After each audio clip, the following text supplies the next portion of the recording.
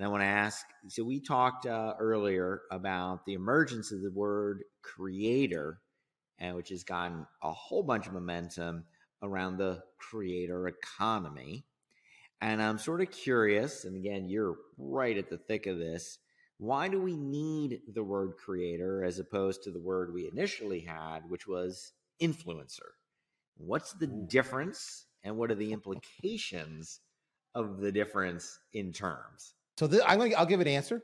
It's going to be a subjective answer, folks. You may disagree with me, or you may want to refine what I say. And to that, I welcome your opinions.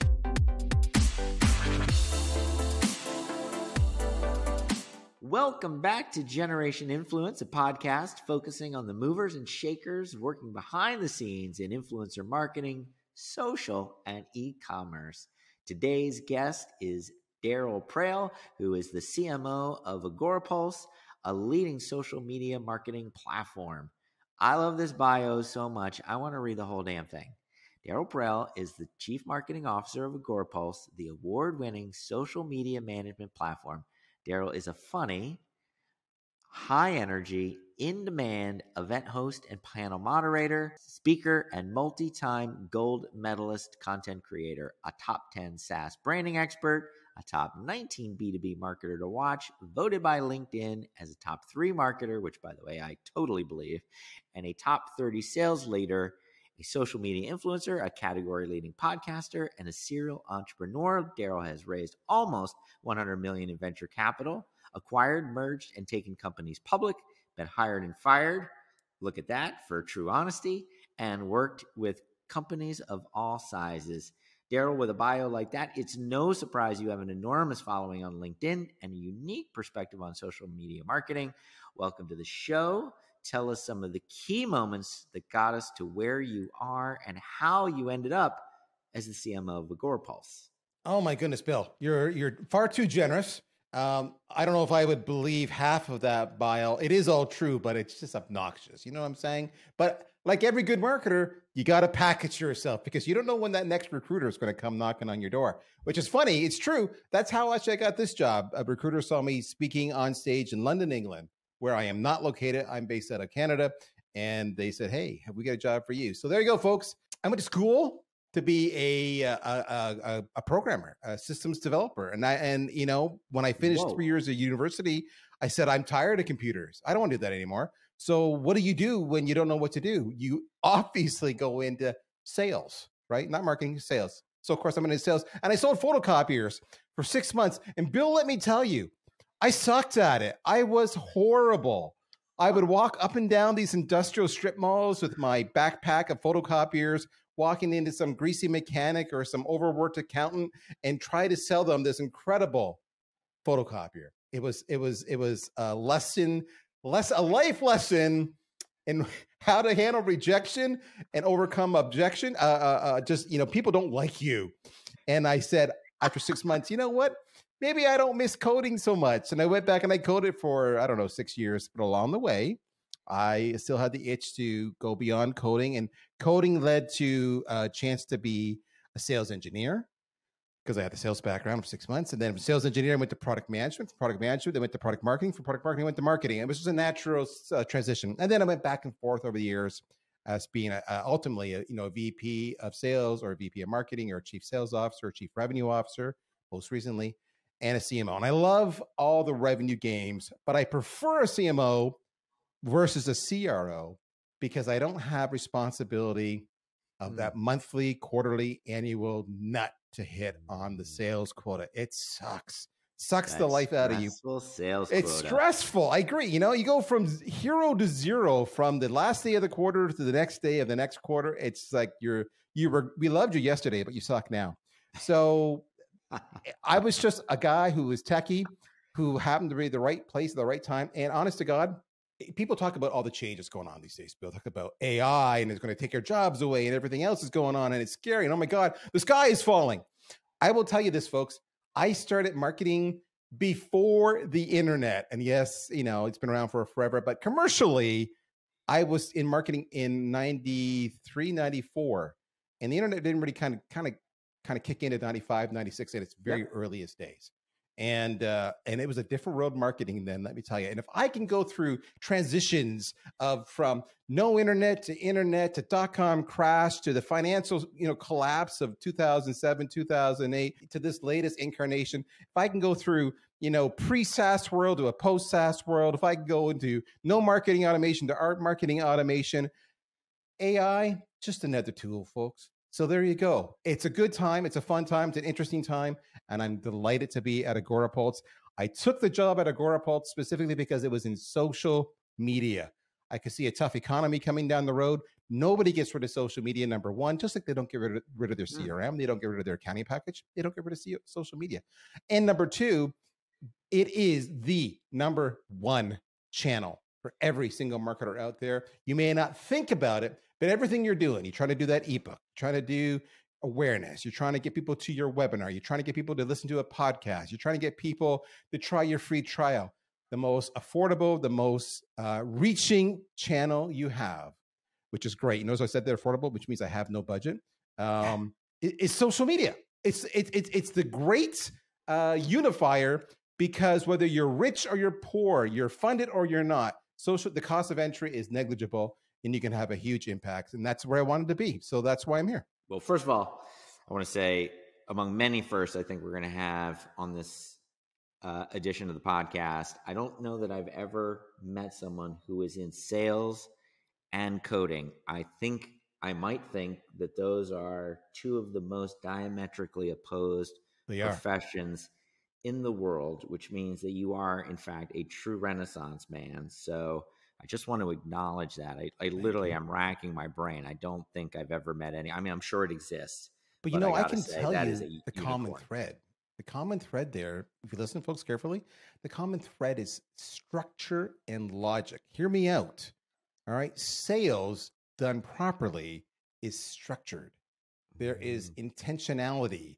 You know, whether it's a sales sequence, it's how you structure your emails, how you structure your social media outreach, it's how you structure your call, whether you want to provoke engagement within the first seven seconds of that live conversation, how you respond to an objection. It's all a thousand percent structured. So when you start thinking sales is just that guy who's out there and he's just got the personality and charm for it, I say nay, nay. It's structured. It's totally structured, just like coding. That's the commonality. Wow, it's amazing. Uh, another guest on the show, Tiffany Begay of uh, Church and Dwight. Her the main lesson she took away from her mentor. So this is her number one career lesson of all time was how you react to the no and actually getting the no so that you can get to the yes. So I love these, you know, ripples and riffs um, in people's thinking. The, the other thing, by the way, I love you said that, that you said that changing my thinking already is is social's not going away. You know, I'm I don't know if this means I'm just young enough, but or maybe no, actually I think it means I'm really old, which is a known fact. But anyway, I still, you know, I'm in social too, obviously, and I still have that existential threat that what if this is all a fad? I mean, I intellectually I know it's not, but but there's that emotional part that's like, well, what if everyone wakes up tomorrow and decides that you know the emperor has no clothes, meaning social, and you know, I love the confidence you have that like so, and you're right. I mean, it's just almost self-evidently obvious when you say it but here i am a guy who's worked in it for 10 years and just afraid that like geez what if you know what if the, what what if this goes away? And you're like no no no lean into it. So let, let me right. give you an example on that bill just just to, to get people thinking okay many of your audience will not understand what i'm about to say at least the first part they'll catch up halfway through but people like you and i we're going to 100% get it all right so is social going away or not when i was coding I was busy being on bulletin boards, BBSs. And then I evolved into CompuServe. And then I evolved into ICQ and AOL. And then I got into MSN. And then I got into MySpace. And then I got into, you know, Google and Facebook. All right. And, and you see where we're going with this, right? The platform may change, but the construct will not. I totally agree. It's actually I love that. One of one of my favorite things to talk to younger employees about who have not seen these cycles is mm-hmm. you know the moment that you think a Google, an Amazon, an Apple, a Facebook are going to control the world and are immediate, you know, in, just completely unstoppable is five minutes before something goes horrendously wrong and somebody else rises up and takes that place. And so the the only thing truly in tech that we know for sure is that it will change and you know and there will be a new unstoppable single force you know on the planet um, and so there's definitely been a concentration of power but like none of these folks are uh, you know are permanent. None of these structures are permanent.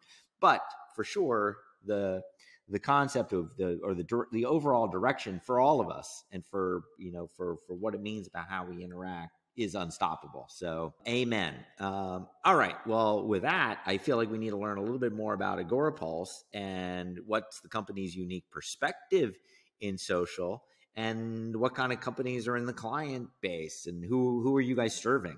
Awesome question. Thank you so much, folks. This is the this is when the host gives the guest a chance to have a brief infomercial. So if you want to skip forward 30 seconds, you're welcome to do that, but it's going to be worth your while. Just stay tuned.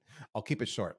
Uh, Agorapulse is a social media management platform. So, candidly, as a marketer or as a social seller, if you're in sales, for example, or maybe you're a content creator, or maybe you're an influencer, there's two different ways you can approach social media. One is you go native.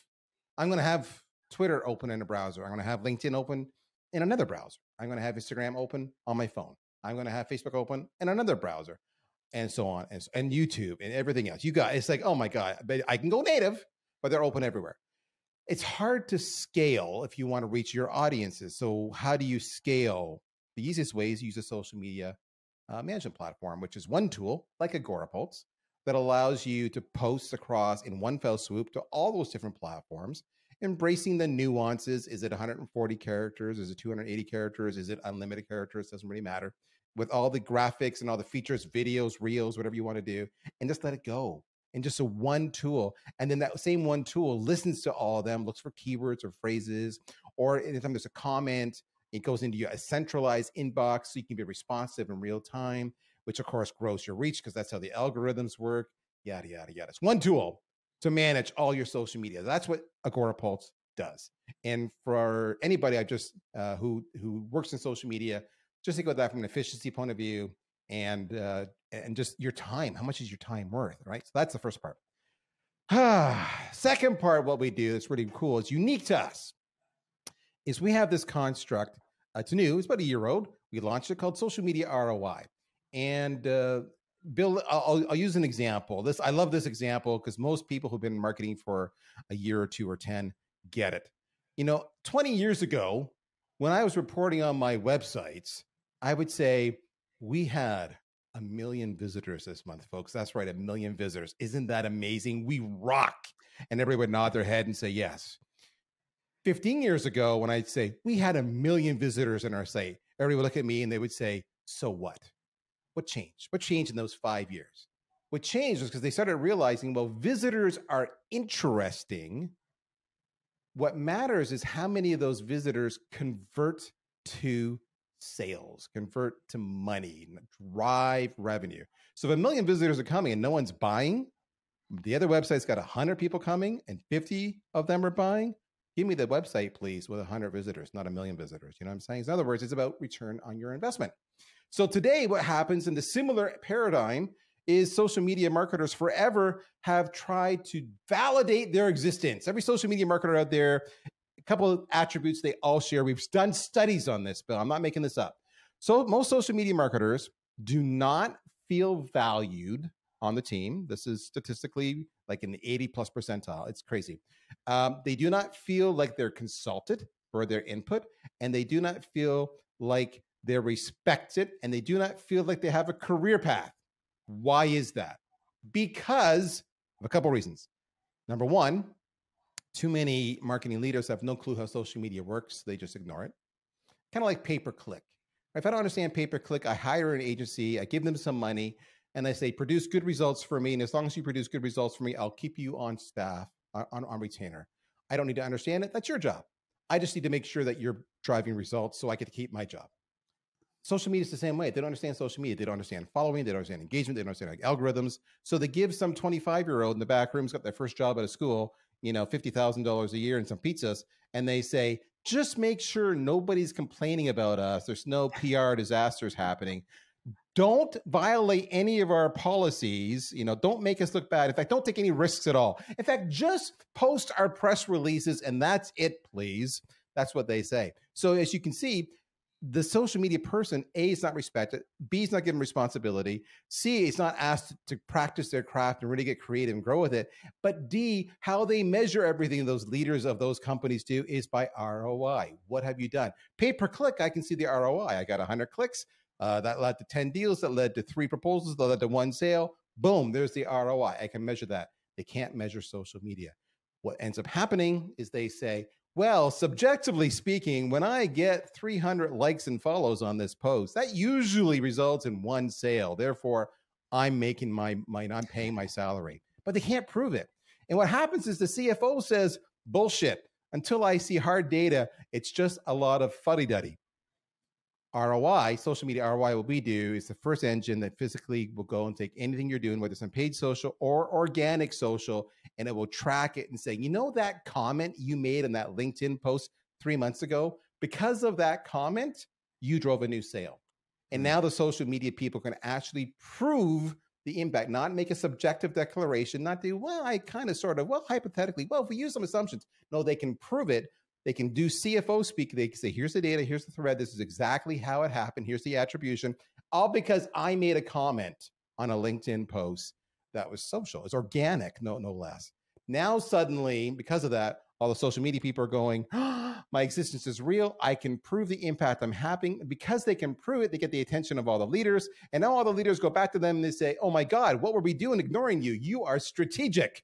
We want you here at the table with us. And my friend, that is what Agorapulse does. That is how we're different, and that is how it's changing. That was a long-winded answer. I apologize. I have to work on my brevity. This has evolved out of a blog series I ran called The Math and Science of Influencer Marketing. And so the idea of tracking ROI, not being afraid of the math, leaning into the math, you know, is is, is a great theme. And, and so I love that. I'm curious, though, right? Because there actually is sort of this alignment between the social media manager who wants to be validated, um, the CMO who wants to see ROI. But what we've found, and again, because Gen Video also kind of celebrates analytics, we do things very different, but there's definitely echoes that I heard there, very familiar. There can be a lot of people along the way in the decision path who resist that because they're afraid that the analytics are going to show that it's not working that really what they are getting is just a bunch of likes and and visitors and want to be celebrated just for that.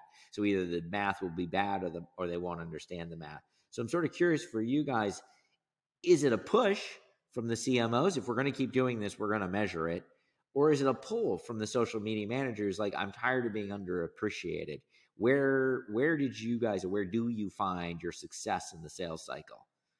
Okay so i'll give you kind of a, a before we launched it or in the early days of when we launched it and where it is now because the, your the question to your answer i'm um, the question to your answer the answer to your question edit that baby out. The answer to your question has evolved. When we launched a year ago every almost every single agency said to us so imagine a social media agency right? They have lots of clients this is what they do uh, you would be uh, approaching them and say, "Hey, wouldn't this be great? You can measure this." And almost every single agency said, "I don't want to measure that. I don't want to to to be held accountable for driving revenue. I'm all about awareness. I'm not about revenue." And what it really came down to was they were nervous as hell of what if what they were doing wasn't driving revenue. Then all of a sudden they would see all their accounts walk away, their retainers would disappear they actually vehemently resisted the concept of ROI, did not want to talk about it. I would then go to them and I say, well, wait a minute, wait a minute, wait a minute. Miss Agency Owner, look at what you can do with this. Now you can go and prove the impact because eh, you have confidence you're making a difference, right? Miss Agency Owner. So now you can prove it. And because they're going to see it, you can actually increase your retainer and upsell because now you get proof that you're making a, you're driving their revenue. Or better yet, you can prove it and you can reduce your churn with your clients. Wouldn't that be crazy, right? So the lifetime value goes up dramatically, all because of ROI. And that started to crack the code a little bit, but they were still skeptical. So we saw that reaction. More recently, I won't name individuals, but I will name companies. I will call out both Gartner and Forrester. In briefings with them, one of them said, There's no way you can measure organic social. It is impossible. And the other person said, Social media is only for comms and PR and nothing else. It's not for driving revenue. I'm not making this up. And so we had fights, literal physical fights. Hand fisticuffs would have happened if we were there in person. Um, but it was a good conversation. And, and you could see by the end of the call, they were going, huh, never thought of it that way. And we continue to like each other and we're continuing to work together. So there was a lot of resistance. Now, what's happening, and this is an anecdotal conversation I got from my sales reps about a month ago. They're saying it's amazing what a difference a year makes because we've been evangelizing. We working with a lot of different partners and influencers to get the message out there, making a lot of case studies, sharing the news. And they're saying now, when we talk to whether it's CMOs or to social media people, they don't say, What do you mean ROI? They actually say, Yes, you're right. We need to prove it. And what you're seeing is two things. You're seeing with the reduced economy, the CMOs are demanding ROI. If they're going to spend, because what's happening, a couple things are happening. One, there's layoffs. Two, uh, there's a massive pressure to reduce the cost of their tech stack. So the CMOs are saying, I can keep the tech for which I can show an ROI. And maybe if I can show an ROI, I can keep that employee too that they were pushing me to get rid of because it's a headcount.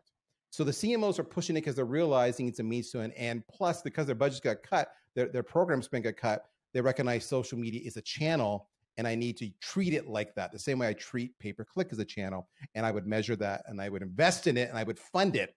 So the, the, they're doing that way. What you're seeing on the other side is we're seeing the technicians are similarly doing it because now they're seeing and their peers are talking about their experiences. Well, when they do this, how it just changes how people perceive them internally. So now, as part of their due diligence, when they're evaluating which vendors they want to look at, you're seeing that as part of the decision making criteria. And we know we're having an effect now because if I look at other players in the space like Hootsuite and Sprout Social, they've launched ebooks and white papers in the last three months all about ROI, which they never talked about before. And by the way, if you look at it, every marketer loves this. If you read the ebooks, they're really well done. Like, hats off. And they spend a lot of money. They got analysts involved. It's great. They spot they drop serious coin. What they do is they tell you e uh, measuring ROI is is done by the merchant or done by Google Analytics. It is not done by the social platform. But don't worry, we integrate with them, so therefore you're cool. In other words, they don't do it. One year has changed dramatically, but that's the evolution that we've gone through, Bill, and it's been crazy. It's been crazy having to actually convince people that they want to measure ROI. But change is hard. Change is hard. Well, I love that you you you laid out the question under the question uh, for me, which was great. Which again, we've seen that same resistance for years to, you know, the more numbers you put out there, the more concerning it is. Do you feel like you've cracked the code? You know, okay, so now here are the numbers. Are you still in a situation where you need to contextualize that data and help people to understand what they're seeing? Or do you feel like we've gotten to a point that you know when you're helping the people are able to understand what success looks like on their own. Because again first of all we found two hurdles the natural resistance just to having any data because it might be bad but then even when they have the data it's like yeah but i don't get this data. Where are you on that second issue? It's it's it's the latter. It's the either i, I don't get this data or i'll rephrase it a little bit. I don't know how or what to measure. And so, for example, I'll have a conversation with so many social media people. Now, if you're a veteran marketer, I'm going to use a three letter acronym. You ready? Here comes UTM. All right. UTM. If you don't know what that is, go look it up, folks. For those yep. of you who do know what it is, of course, those are the parameters on the end of a, of a website address, you know, campaign, medium, source that allow you to track and attribute that link. So someone clicks on it, you can say, oh, that came from a Facebook ad uh, where we promoted this product, uh, specifically this this campaign that we did on Facebook. Most social media people do not know what UTM's are, and that mm. blew my mind when I joined Agorapulse. I actually thought people were pulling my leg, pulling the new guy's leg, and but it, it's it's actually true. Most Social media people do not know what UTMs are. The second thing is most marketers, but especially social media marketers, do not know typical financial metrics. And I've been doing a lot of education with a lot of the technicians saying, listen, this is how your CMO has to how this is how they pay your salary. They have to go back to the CFO and they have to show ROI, it's return on investment. That means they've got money, so they have to show that I'm bringing in more money than I'm I'm costing you. And they measure that in things like MRR, monthly recurring revenue, ARR, you know, annual recurring revenue. Uh, they do things on net RR, so the net recurring revenue. They do things like on lifetime value. None of these acronyms, I could go on. None of these acronyms do they understand? Do they know? So I had to teach them if you want to measure ROI, you need to know the metrics that your CMO is going back and forth on with your CFO. If you can speak those metrics, you are golden. And to do that, you need the UTMs, which is how we track things. So there's a lot of education going on with this marketing group so that they can earn the respect. So it's not just a matter of having the tool, it's a matter of teaching them marketing and sales finance 101, which, by the way, it's not their fault. I want to be clear in this.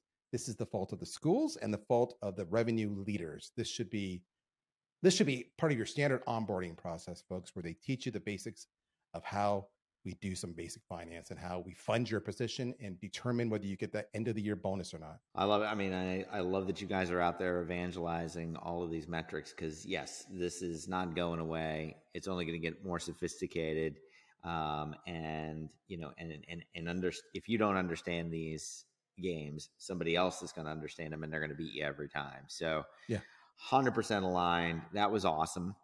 Let's change tacks a little bit and I want to go a little bit meta also for a second. And I want to ask so, we talked uh, earlier about the emergence of the word creator, and which has gotten a whole bunch of momentum around the creator economy. And I'm sort of curious, and again, you're right at the thick of this. Why do we need the word creator as opposed to the word we initially had, which was influencer? What's the difference and what are the implications of the difference in terms? So I'm going to, I'll give an answer. It's going to be a subjective answer, folks. You may disagree with me, or you may want to refine what I say. And to that, I welcome your opinion. So please don't be shy. Um, darylpraill.com or go to LinkedIn. You're all set. Okay. Influence. We think of influencer, we think of, you know, I'm being uh, stereotypical. We think of the Kardashians we you know as an example right? So if one of the kardashians i don't know their names but if one of them puts on a certain you know shirt and they just wear it and they're photographed seeing it you know they're being paid by impressions or reach or what have you to wear that that piece of apparel because it's going to sell out overnight in whatever you know fashion outlet that piece of clothing is sold in. That's an influencer. They influence people's perceptions around uh, what to wear what to think Creator, a little different. Creator says you do not necessarily need to have the fame, fortune, and notoriety of a Kardashian. Creator says you're physically creating killer content. Notice a Kardashian isn't necessarily making any content when they're wearing that cool shirt. They just appeared in an image. The creator's actually making killer content like what we're on right now. Bill is a creator. He's creating content, he's creating conversations, he's creating debate. And from the, those who consume Bill's creations, they're getting a little bit smarter. They're pulling the nuggets of information they need, and then they're physically uh, applying it to their own use cases. Now, but because they like Bill's content, because he's a creator, they grow to have an affinity with Bill. I may not have any affinity with the Kardashians because of that cool shirt they're wearing, but I have an affinity with Bill. He's got a great tone. He looks fun. He's got a great sense of humor. I could go for beers with Bill. So, therefore, when I need a solution like what Bill offers, I'm going to think of Bill and his company, and I'm going to say, they got to be in the short list. All right. And by the way, if I have a colleague or a peer is looking for a solution that Bill just talked about, I'm going to refer Bill's uh, content. I'm not going to refer anybody to that picture I just saw of the Kardashians. So one is an influencer, the one is creator. One is just influencing opinion on a personal basis. Creation, creators are actually making content that are affecting people's lives. And the beauty of the creator is that, as I said, you don't need to be a you know massive following. You can have micro creators, you could have, you know, mega macro creators, etc. If you know your niche, then you're there. And by the way, you don't need to be number one, number two, number three. Go on YouTube or TikTok. How many thousands upon thousands of people are making a living? And you know what they're on average doing? One video a week mm. on average. One. And they're getting enough advertising or affiliate revenue or their own merchandise to physically not only survive, but make a good living. That's what a creator is. It is a great equalizer and it is the next evolution. That's why we can go from being corporate employees to being the gig economy. I cuz I can actually be a creator and that's my gig. And I can have multiple gigs. I can be multiple creators. I can have a job and be a gig on the side. We see that all the time. Anyway, how did I do, Bill? Did I get close? Did I not get close? I didn't see you I, scowl. No, I'm not scowling at all. I love it. I it's given me a great framework to keep those two things. They can overlap, absolutely, but they. But I've got great, uh, great structure now and framework to put them in their own buckets and appreciate each bucket for its own unique attributes. And actually, let's talk about you specifically because through the definition, it's almost like you probably consider yourself a creator where I also have you very much in the influencer bucket. I mean, you have 18,000 followers on LinkedIn. Now, if that was Instagram, that that might not be blowing anybody's mind away, but 18,000 followers on LinkedIn is world class, top 3 marketer on LinkedIn, I think we heard earlier in the podcast. And so first, I want to ask are there any superpowers that come with having that many followers? Like if you just want to drop something out there in the ether, does it just automatically send huge ripple effects? Are there other powers that might come just from having that? Or what is what is what what's it like to have 18,000 followers like, on LinkedIn? I mean, 18. I mean, we're we're we're getting close to, to 19 now. My goal is to be 20 in a couple months. Um, I've never worked at it until very recently. And when I, folks, when I mean worked at it, I mean only in the last three months, four months have I physically started saying, okay, I'm allowed to do like 100 invitation requests a week or whatever it is. I'm going to identify target people that I want to be connected with who I think add value to my tribe. And I'm going to reach out and proactively invite them. Before them, everything you've seen develop there was 100% organic. Um, are there magic powers to come with it? And, you know, yes and no. I mean, yes, I can put something out there and it gets picked up and I get more like when I'm at the trade shows and the notor- uh, or whatnot, I get a lot of notoriety that way. My sales reps love me because they'll get a lot of inbound activity. They'll say, "Yeah, I saw Darryl's post or I saw this, and because of him, uh, I'm doing this." Uh, so there's that. It is a little creepy at times. I've had many, many shows I've gone to where I've had people uh, whisper and point at me from afar, too scared to come and say hi, which I don't get. I'm just a mid 50s guy who's boring as hell folks trust me uh, i'm really harmless come say hi and and and they want to know my secret they never seem to like the answer for some reason because how did i get here i just got here just through several years of creating consistent well mostly consistent like everybody else here there are times when i'm just overwhelmed and underwater and i can't get stuff out there but uh, creating great content um, and candidly if i can give you a, a piece of, of, advice uh, one is there's almost more engagement in the comments and not necessarily in your post, but in somebody else's mm-hmm. posts. If you, too many of you are just doing things like, oh, love your post, great job, way to go, killer, way to go, preach, brother. And that's your comment. And you know what? A guy like me comes along and sees the original post, and I say, you know what? I really like what you're saying about A and B, but I disagree with you on C in your post. And this is why I disagree. Blah, blah, blah. You know what happens every time I do that? The poster who often could be could be a Kardashian, someone way more influenced than me, responds to my comment. They'll say something, "Hey, Darryl, I, I, really I, I, I respect that you differ with me on C.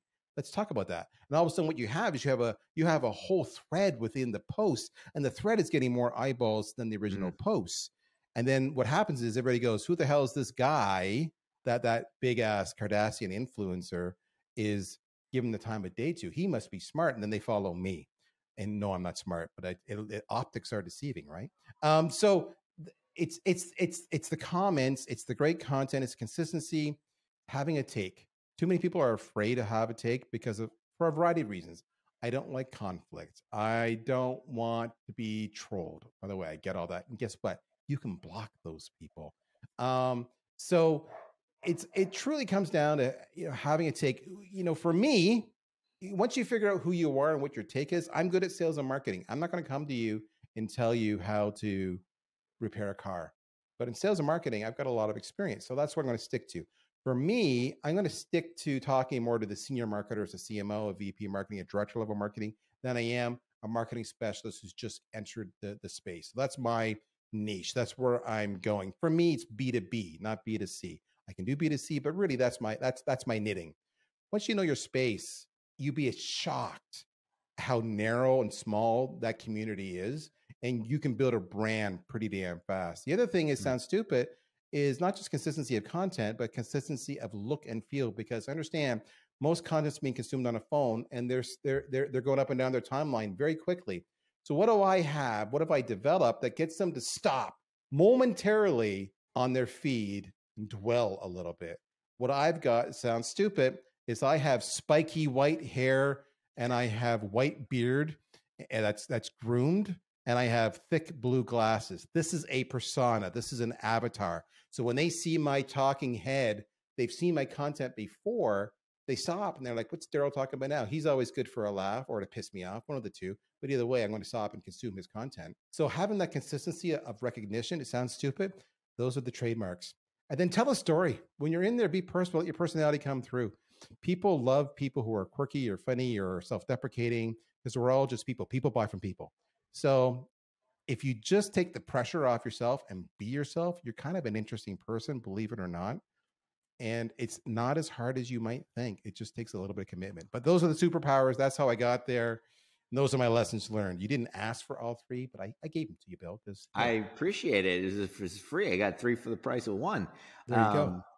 And I, I want to double click in on the the comment about consistency because I, I think I just connected some dots and I want to confirm if I did or not. Um, so for the the two regular viewers, hi mom, of this podcast, um, they will recognize that uh, this is one of the first recordings we've done with a new setup. We've got a new mic. Thank you, HyperX. We've got a new camera. Thanks, HP. We've got some lights shining on my face, although it doesn't always work when the sun really wants to do its thing. It's it's you can't stop nature. That was that's my lesson. But anyway, uh, so we've upgraded the rig, and you know, for the first ten episodes or so, you know, the the rig was was was pretty much off the rack, um, which wasn't something that I was focused on. You know, I was like, well, it'll be the content, the quality of the conversations that matter, not the video production. But when I asked you about growth uh, earlier and how you got to 18,000, you know, like what was the seed?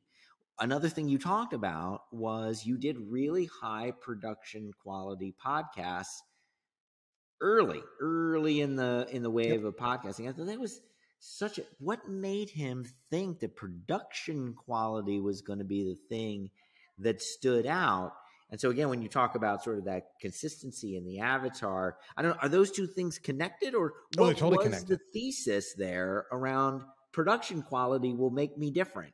It's a really brilliant question. So I had my own agency for 10 years. And when I had the agency, I remember talking to my clients and trying to get them to spend money, for example, on their website, just on their website. Simple, something as simple as that. And and I would often, oh, we have a website, it's fine. I don't need to spend money there because they're not marketers. Maybe they're accountants or lawyers or whatever they were. And I would say, okay, let me ask you a question. I said, hypothetical, but I want I need you to answer honestly. And they say, sure, what is it? I said, you're going to go buy a pair of shoes online. Okay. So we're going to buy a pair of shoes. You with me? Yeah, I'm with you. You're going to buy a pair of shoes. Great. Okay. You found the shoes you'd like at two different websites. Yep. Two different websites. Um, I said, they're the same price on both sites. They can both be delivered in the exact same time frame. Which site do you buy from? And you see them hum and ha, and they go, I don't know. I said, let me give you a clue. If one site looked like it came from 1995 and one site looked like it came from 2020, would that influence your decision? Well, yeah, I'd probably buy the site from 2020. Why? And they would say, I, I don't know. I, I, I don't know. And I said, I'll, I'll tell you why. Because if it looks current, looks polished, looks credible, it feels like it's less risky. Mm. Feels like it's more trustworthy. Feels like you will you have confidence in their operations. Is that a fair statement? And they would go back and they would go, "Hey, actually, you know, now you put it that way. Yeah, that's that's actually it." I say, "Yeah, welcome to human behavior 101." The whole point of marketers is to overcome risk and build trust. And how do we do that? We do that because people are making an instant decision on whether I like you or I dislike you because we're conditioned to do that over and over and over again all day long. So, how can you tip the scales to make sure people think you're credible, think you're trustworthy? You're not a risk. Sounds stupid, but if I look better on camera, if I sound better in the audio than my competition does, even though we're doing the exact same thing, I'm going to get the business because we're we're all humans, and that's where the premise came from. Got it. I it rings so true. It's so ironic, you know.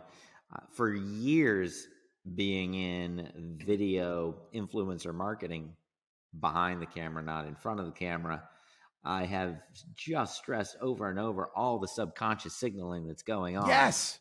And here I missed the application. It's it's it's it's truly embarrassing. The application of my own rules to my own situation. So again, But this it's is why I normal. It's human nature, right? behind the we- we- camera. We also have our own concerns about costs and money and time and technology. I don't understand the technology. What do I do? I understand this. Change change is scary. You see a recurring theme here.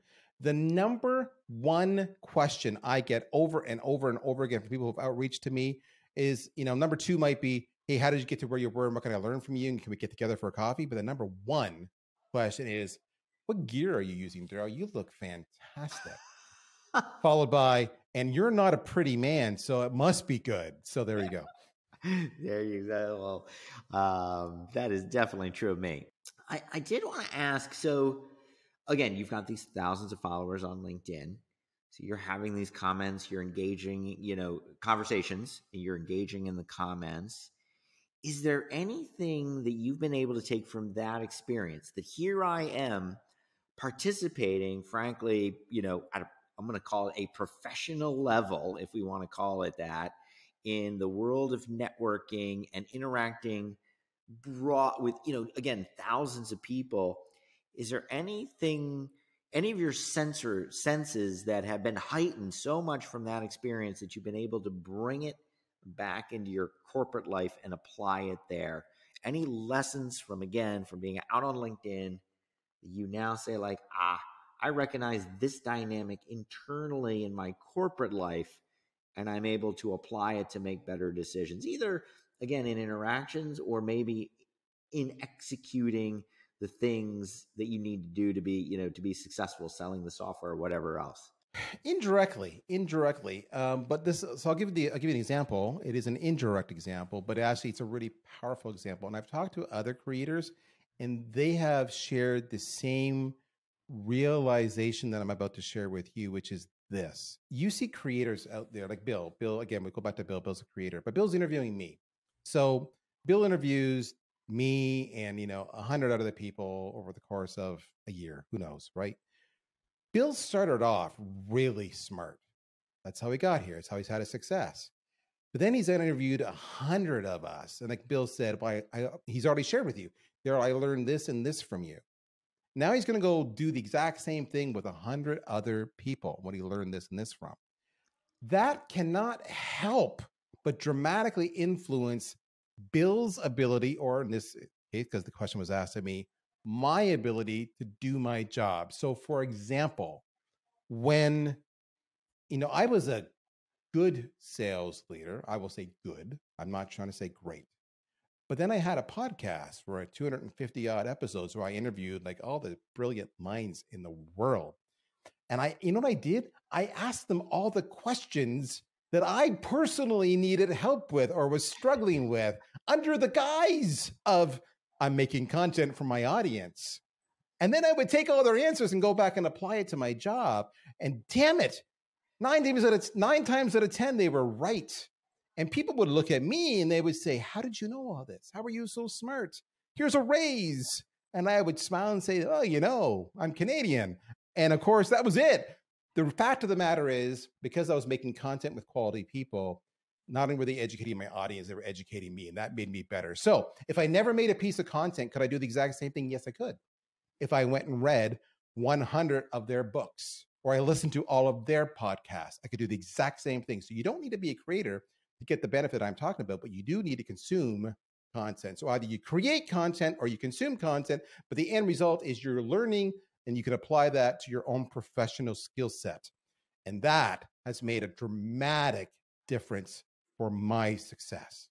I buy that totally. I am, uh, maybe this will sound arrogant, but it's meant to sound very humble. I am amazed at the things I learn every week yes. in doing these podcasts. I mean, it's just astonishing. And so, um, so amen to that. And so let's talk about LinkedIn which we've been talking about with you as an influencer, as a marketing platform. And so, since you run a social media marketing platform company, or the CMO there, uh, are companies under or over investing in LinkedIn in your view, especially if they have a B2B type perspective? I, the answer is going to it's going to sound counterintuitive. The answer is they're under investing, and many of you right now are saying, "How well how can you say that they're under investing when almost every single sales rep I know is on LinkedIn? Hence, my statement is going to seem counterintuitive. They're under investing because if you're simply using LinkedIn for the navigator capabilities or just to kind of go and connect with a bunch of people you think could be your target audience and your connection request says hi i'm darryl can we meet for coffee for 10 minutes where i pitch slap you with my with my features and solutions that's not using linkedin I might as well just pick up a phone book and start dialing random strangers and making a similar pitch, and I'll have the exact same conversion rate, just so you know. All right. So when I say they're underinvesting, it goes back to the conversation we are having about creators or and or influencers. You heard Bill just say, I consider myself a creator. He considered me a bit of an influencer, and there's there's there's that overlap. I go back to when I started getting serious about LinkedIn, probably around 2017, 2018 what was the catalyst for me to get serious about it? The catalyst was real straightforward. It was my two biggest competitors had both raised a couple hundred million dollars, and I'd raised nothing. And they could outspend me like you mm. wouldn't believe. But by me making great content and reaching out to all the influencers or the people, the trainers, the authors, the public speakers on LinkedIn and making great content, LinkedIn Live, articles, carousels, whatever it might be, I was able to outflank them at negligible costs. Negligible costs. And that's what companies aren't doing. Companies are not doing still to this day. Uh, I had I've had more executives say to me the following. I wish I was making this up, but this will I, I think Bill, you'll truly get this one. The reason you do what you do on LinkedIn, Darryl, is because you like that. So the implication there is if you didn't like it, you wouldn't do it. Or said another way, I don't like it, so I'm not going to do it, even though you, Darryl, are doing it because I am I'm insecure or I don't want to be visible or I don't have the time or I don't want my face out there or whatever it might be. That's the problem. We have gone from people buying from companies to people truly buying from people the number one lead source, whether it was 1930, 1940, 1950, 1960, 1970, 1980, 1990, 2000, 2010, 2020, word of mouth. Yep. And what's changed is instead of it being us meeting in the public square or me reading it in the local newspaper, it's now me connecting with my tribe and my peers in community. That could be on LinkedIn. That could be in dedicated communities like Pavilion or RevGenius or Peak Marketing. The list goes on. It, it, that's where people get that word of mouth referral. So you need to make content. You need to become a creator. You need to have great conversations. You need to add value. You need to stop pitch slapping me with your features. You need to understand your ICP and your personas. And you need to just be genuine and you and engaged candidly, you need to be everything my wife tells me I suck at. That's what you need to be. Oh my gosh. I have never heard the phrase pitch slap, but it is now in my vocabulary. That is awesome. What a great one. I, I can't imagine a better place to wrap up than what's such a great phrase, which is uh, which should be used anywhere and everywhere because it is so true, and so not the way people make uh, make a buying decision. Um, well, Darryl, I want to turn it over to you. Any last words that you'd like to share with the community? No, I mean we've had an honest conversation here today, folks. If you liked what you heard, you know, check out everything that check out Bill. Like you should be following Bill right now if you're not. Okay, that's number one. Follow me if you thought I was mildly entertaining or eh, nominally educational. You can always block me or mute me later on if you don't like what I have to say. But the only advice I have to you is what I've done is not secret. What Bill's doing, not secret. It's just making time, making it a priority, and understanding that's how buyers buy. That's how you network.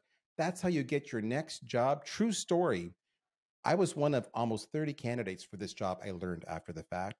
One of the reasons I got the job was because they were looking for somebody, check this out, who understood social media, not because they were a social media company, which is coincidental and ironic, but because they themselves as a company needed more awareness and more reach with the community. So they connected with me, they hired me because they determined that was the skill I could bring on top of my marketing skills to help the other organization. It's the same for you folks if there's two, if you and another candidate are a finalist for a job, who's going to get the job? And by the way, the tip here is it goes back to my analogy about which website are you going to buy the shoes from?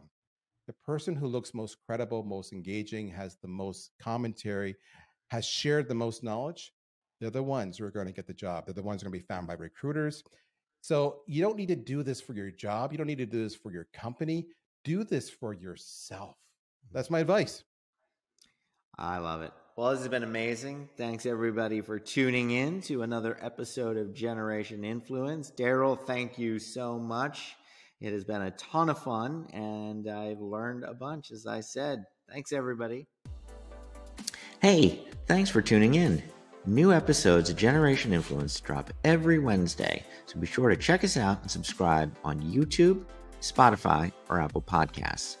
You can find information on next week's guest in the description below. Hope to see you then and there.